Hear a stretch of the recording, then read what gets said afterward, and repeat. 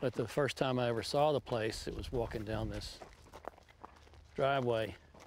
The FBI let me out of a tank back there at the gate and asked me if I wanted body armor. I said no. I'm not afraid of them.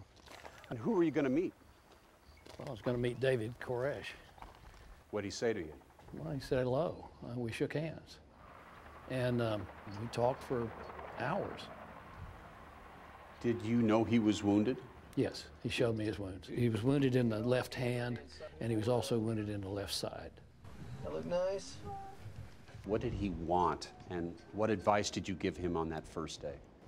Well, what he wanted was safety for himself and everybody else. And then what it seemed to me was that they had a good defense of excessive force being used.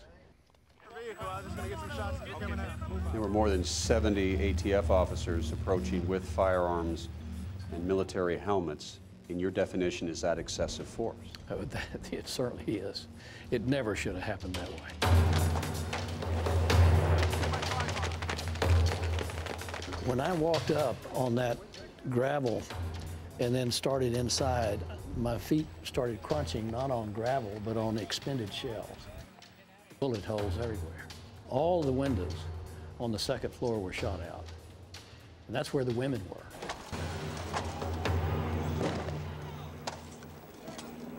What's the controversy about the front door of the Branch Davidian Well, the complex? door looked a lot like this one. I saw that door. I sat by that door for hours. It was all incoming rounds. I don't know what happened to the front door. That front door would have told the tale.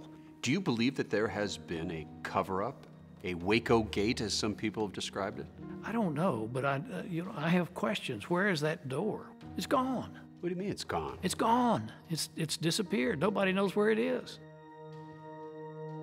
The FBI says that David Koresh broke at least three promises to surrender. Isn't that evidence that he had no intention of coming out, that he wanted this to end in the end of days, the all consuming fire? No, I, I think uh, David Koresh was in love with himself enough to not want to die. I don't think he wanted to die, and I don't think he wanted to kill his followers. I just don't think that's true. And David, lead the flock out the front door, and this is over. Well, that's what should have done.